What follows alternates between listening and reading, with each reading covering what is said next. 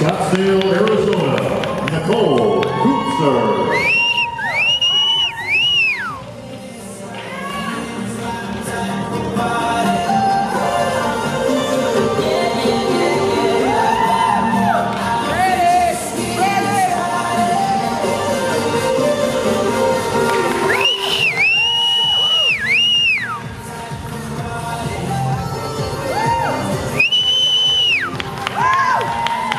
from Ontario, Canada, Jessica McMillan.